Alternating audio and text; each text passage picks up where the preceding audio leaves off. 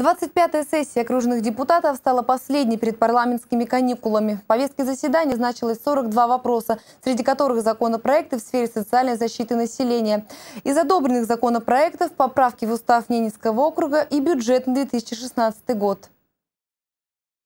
Ненецкий округ вошел в состав арктической зоны России. Соответствующие поправки внесены в устав Ненецкого округа. Кроме того, в документ вошла поправка о принесении депутатами парламента торжественной присяги на первой сессии каждого нового созыва. Это предложение в стенах собрания депутатов озвучил Игорь Кошин в марте 2016 года.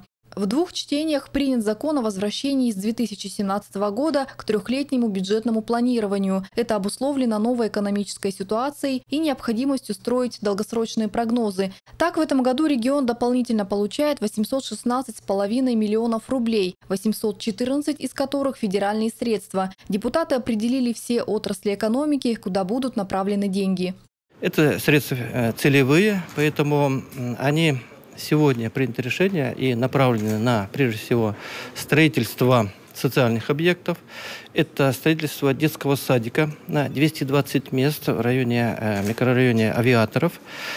73,4 э, миллиона рублей – Э, кроме э, вот этих федеральных средств и средств окружного бюджета, э, наша нефтяная компания «Росвет Петра» также выделяет 30 миллионов рублей на строительство этого детского садика.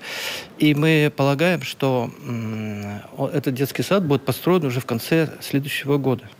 На строительство еще одного образовательного объекта в районе авиаторов будет направлено 115 миллионов рублей. Возведение нового здания школы номер 3 обойдется округу в немалую сумму – 2 миллиарда рублей. Поэтому федеральная субсидия будет существенной поддержкой региональному бюджету. Окончание строительства намечено на конец 2019 года. Еще 10 миллионов 700 тысяч рублей будет направлено на строительство школы на 100 мест в Тельвиске. Часть субсидий пойдет на реконструкцию и строительство дорог. Внесены в окружной бюджет и поправки в части обеспечения социальной защищенности населения. Так многодетные семьи получили право на единовременную выплату вместо земельного участка. Семьи, имеющие детей-инвалидов, теперь могут расходовать средства материнского капитала на приобретение средств реабилитации. Расширен перечень лиц, медицинских работников, которые получают компенсацию на аренду жилого помещения.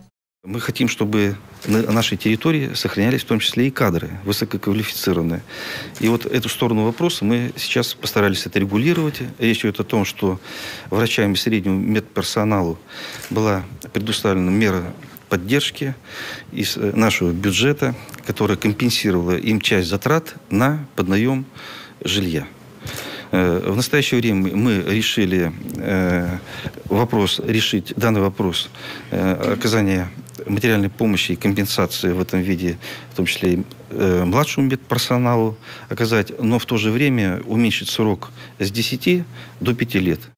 При этом получатели компенсации на прежних условиях сохраняют все свои льготы в полном объеме. Предусмотрена в бюджете и поддержка частных детских садов. Она позволит ликвидировать очередь в детские сады в Наринмаре и обеспечить равные условия получения дошкольного образования. Благодаря окружной субсидии частные детские сады смогут снизить стоимость получения дошкольного образования до уровня бюджетных учреждений. В целях выполнения поручения президента России губернатору округа вводится новая субсидия на обеспечение деятельности частного детского, частных детских садов. Создаются равные условия финансирования частным образовательным предприятиям, оказывающим услуги по присмотру и уходу за детьми дошкольного возраста, в основном от полутора до, до трех лет, и государственным образовательным учреждениям.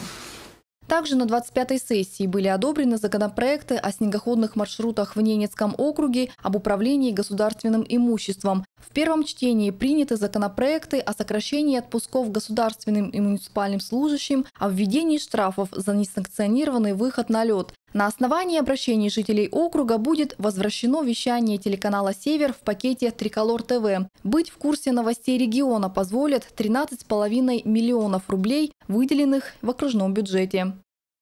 Валентина Чебичек, Дмитрий Лукевич, Антон Выдряков, телеканал «Север».